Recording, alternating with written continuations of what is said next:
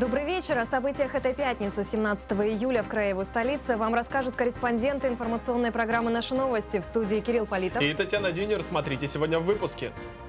Сносить или не сносить? Какое решение приняла краевая комиссия по разрушающейся бийской многоэтажке? Накопили только половину. Где планируют взять недостающие средства на капитальный ремонт домов, созданный в крае фонд? Битва, которая навсегда вошла в историю. Как алтайские боевые соединения отстаивали Сталинград. Каждый метр, каждый клочок земли простреливался.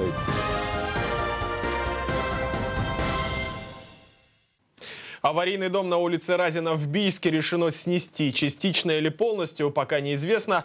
Напомним, 14 июля там начал рушиться лестничный пролет между вторым и третьим этажами. Пришлось эвакуировать жителей 68 квартир. Сегодня на месте ЧП работает специально созданная краевая комиссия.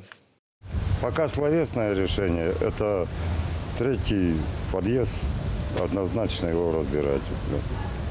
Насчет второго подъезда пока решение такое не но прежде чем официальное и документальное решение будет принято, это будет еще инструментальная экспертиза обязательно. Это долгая история. Дом на улице Разина был построен 55 лет назад. По словам жителей, серьезные проблемы начались еще в 2012-м из-за того, что в подвале больше 20 лет стояла вода. После частичного обрушения лестничной площадки жители из второго и третьего подъездов эвакуировали. Сейчас все квартиры опечатаны, на территорию пускают только по паспортам.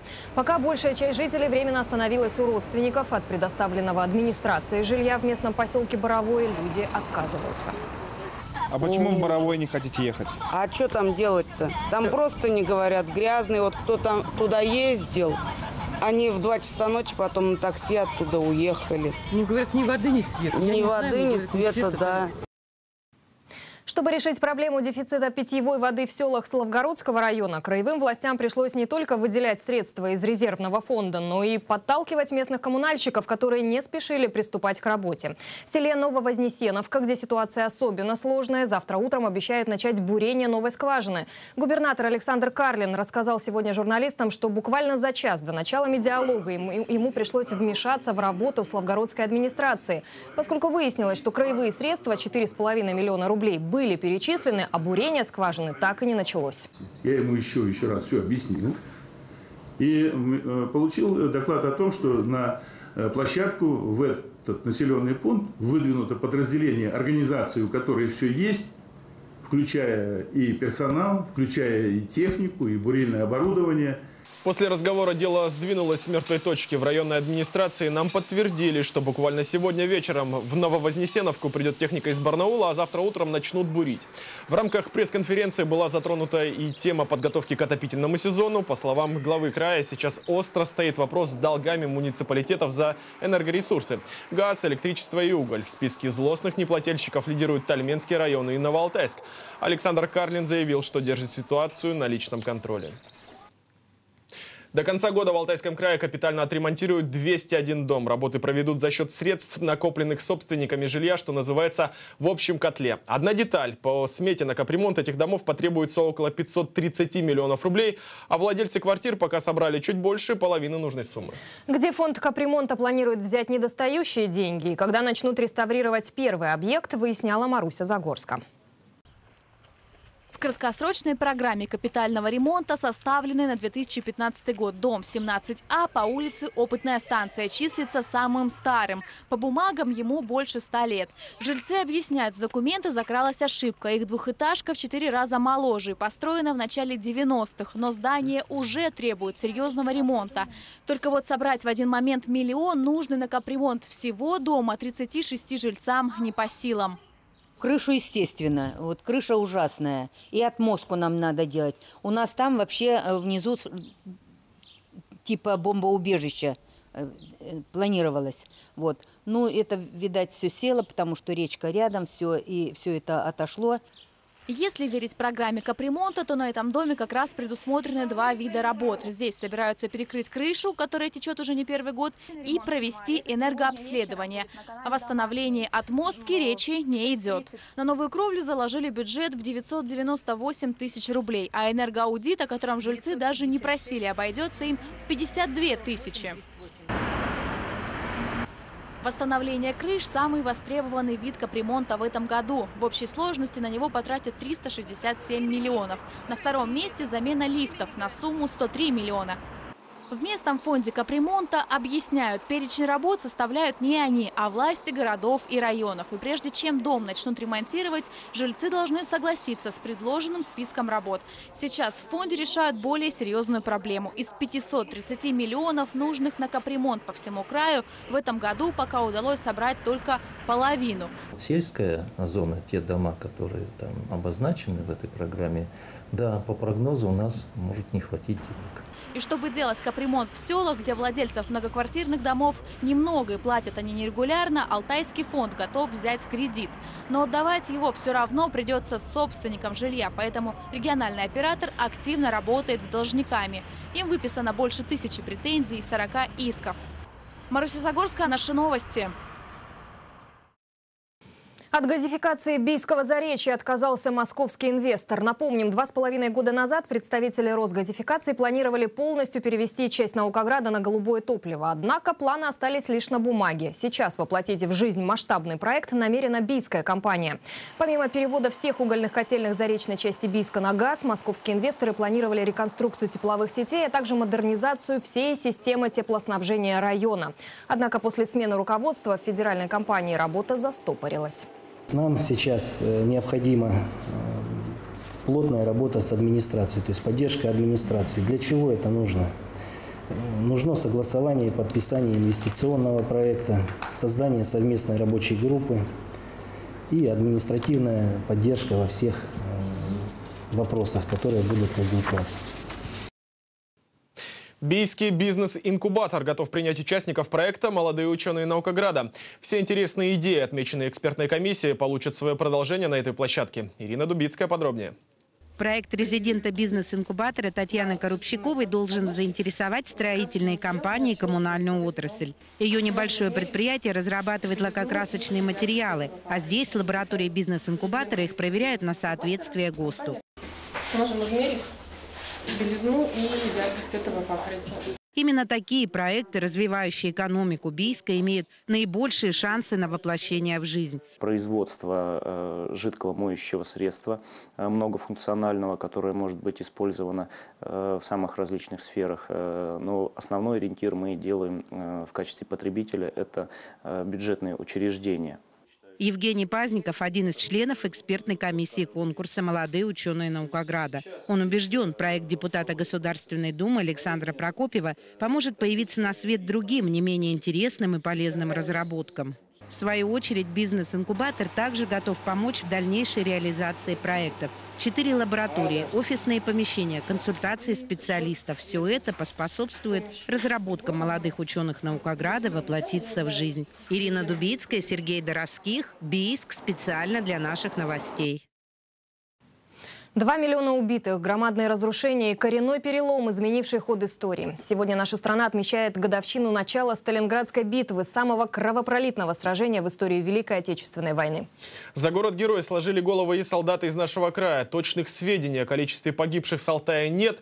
Но одно известно точно – большинство из тех, кто так и не вернулся с войны, был убит именно в Сталинграде. Как наши боевые соединения отстаивали город на Волге в материале Екатерины Гаськовой.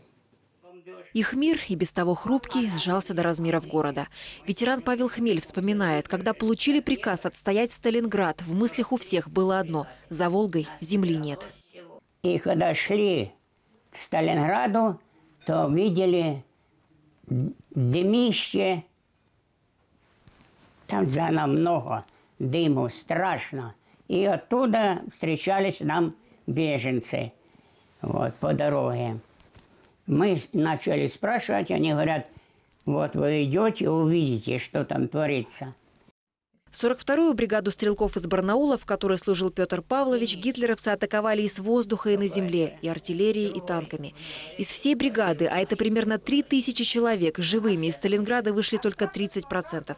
Ценой таких же потерь оборона города далась не менее известной 80-й гвардейской дивизии. Кстати, свое элитное звание она получила именно за Сталинград.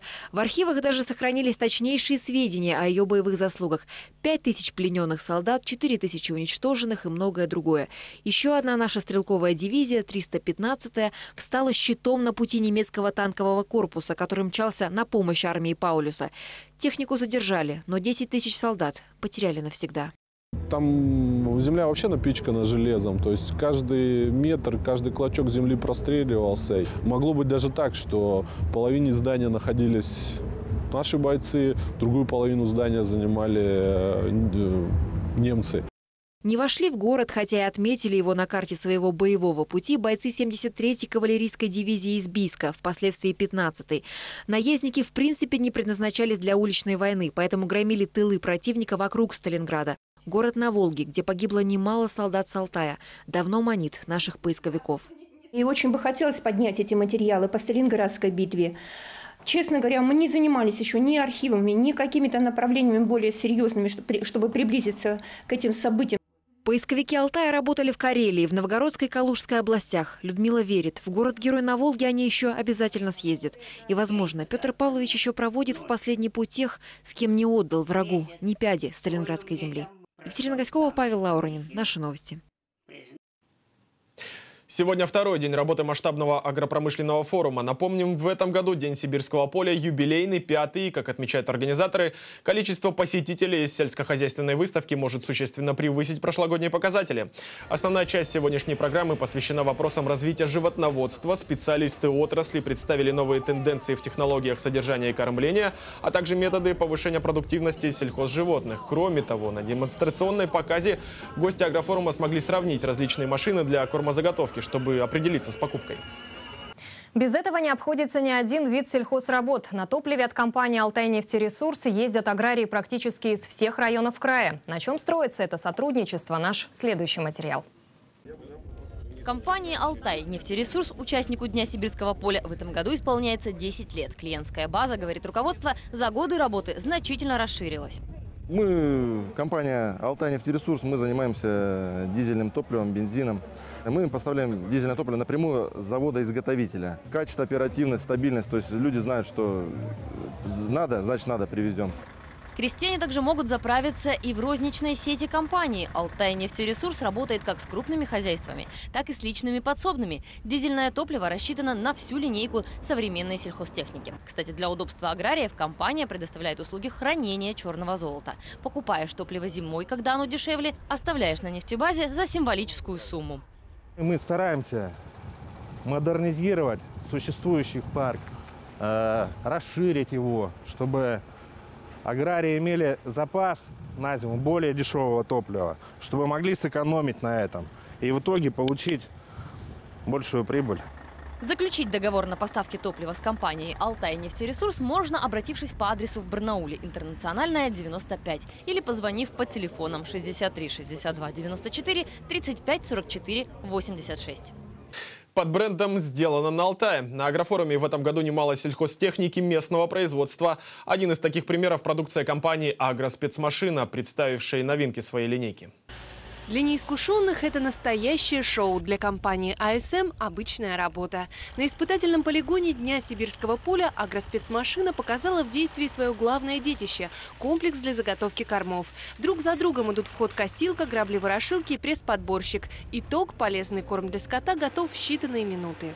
Наша техника рентабельна, ее эксплуатация экономически целесообразна, и что Э, за три года она окупается. Десять лет агроспецмашина сотрудничает с белорусским предприятием. Сейчас уже более половины комплектующих производится на Алтае. К такому же уровню локализации будет стремиться и этот новый агрегат. Его предназначение – смешивать корма и раздавать их непосредственно в коровнике.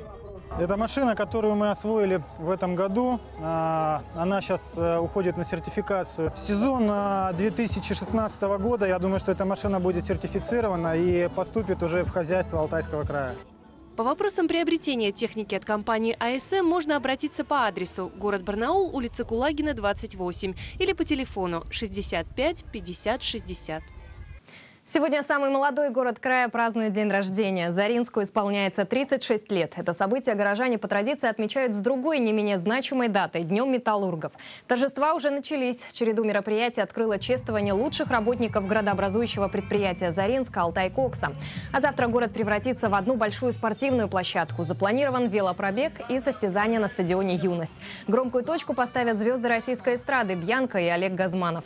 А сегодня с двойным праздником заринчан поздравил депутат Госдумы от Алтайского края Александр Прокопьев. Он поблагодарил металлургов за важный вклад в развитие отрасли Изаринска и отметил, что город с таким железным характером ждет светлое будущее и новые возможности.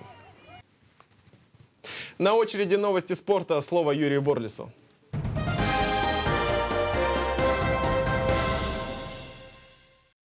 Понедельник, 20 июля, «Динамо» сверкнет новой футбольной формой на пресс-конференции, посвященной предстоящему старту команды в первенстве и Кубке России. С журналистами встретятся президент клуба Виктор Сигарев, главный тренер команды Олег Яковлев, а также игроки Владислав Аксютенко, Григорий Дорошенко, вратарь Богдан Карюкин. Репортаж смотрите в тот же день в понедельник. Ну а болельщиков «Динамо» приглашают на предсезонную встречу с командой, которая 20 июля также на стадионе в 18 часов. Как прежде, можно будет задавать вопросы футболистам, тренерам, а также понаблюдать за одной из последних тренировок перед стартом чемпионата. «Динамо» начнет игры 22 июля в среду в 18.30 дома с Якутией. И всю следующую неделю ребята-шахматисты будут не у бабушек, а в Барнауле на этапе детского Кубка России. Соревнования пройдут в четырех возрастных группах по привычной швейцарской системе в 9 туров. Открытие состоится 20 июля в 11 часов в Краевом шахматном клубе на Гоголя 42. Не только смотрите спорт, но и занимайтесь им. До свидания. Спасибо, Юра, и удачи тебе на новом месте. Наш спортивный обозреватель Юрий Борлис уезжает жить в Швецию. Это была последняя новость на сегодня. Хорошего вечера пятницы и только добрых вам новостей. До встречи в эфире.